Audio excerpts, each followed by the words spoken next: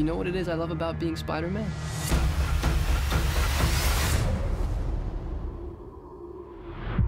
Everything.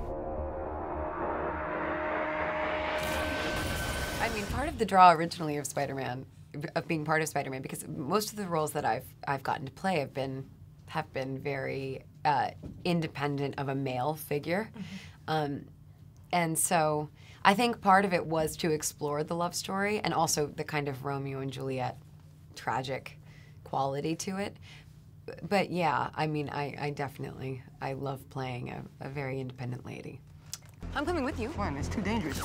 Sorry, I love you. Don't hate me. Peter! The actual shooting of the movie one day you're shooting a, a love scene and it's you know this tiny little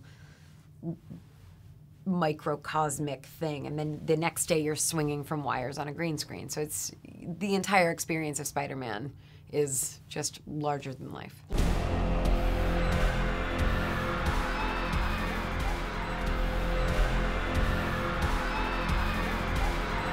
It's unlike anything else in the world. Going on this kind of a global press tour only drives that home. That this symbol is just, it, it's such a beloved figure for so many people all over the world. We were just in China or Japan or Australia, anywhere. It's, um, it's really, it's really iconic. So you feel like you're part of something much, much bigger than you.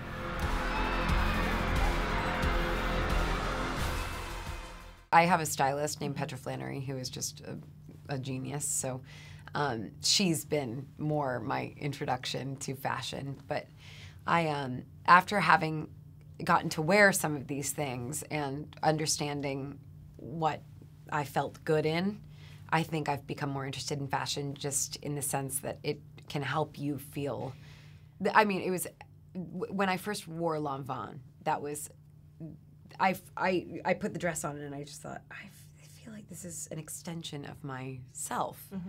And that was kind of a, a great moment to understand what these people are really doing. They're creating art that you can live your life in, which is pretty great. It's pretty great. And I stole that line from Devil Wears Prada, so don't worry about it.